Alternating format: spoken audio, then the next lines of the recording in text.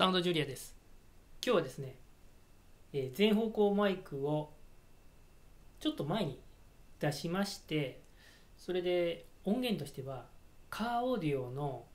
音源をホームオーディオで再生してみたいと思います。これ何て言うんですかね極端なドンチンサウンド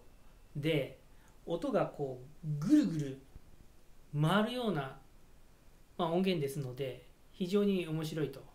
でヘッドホンで聞いていただくともうあの頭の中いっぱい音になりますので、えー試してみてください、まあ、この店で聞いてもですね、まあ、すごい音源なんでまあドスドスチンチンとうるさいわけなんですけれど、まあ、うまく再生できると思いますので、えー聞いてみてください。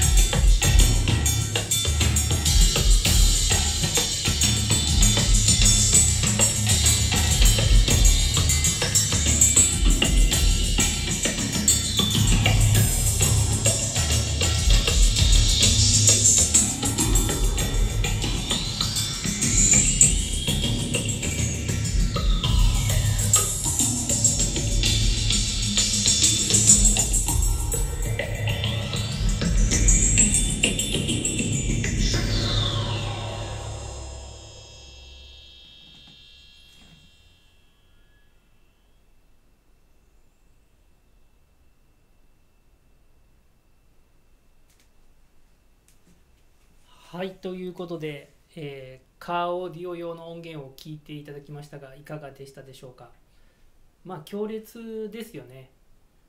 まあホームオーディオで言うと、まあ、オンデコザの富岳とかですね。なんかあのコントラバスマリンバの音源ぐらい強烈でこう音がぐるぐる回るなんかあの加工がしてあるんで、まあ、面白いかなと、まあ、こういうのが好きで聴いてるわけじゃないんですけどこういうのがあの無難に再生できると、まあ、交響曲とかですねあとリズム系の、まあ、フュージョン、まあ、チャントみたいなやつとかもまともにあの再生ができるようになりますので、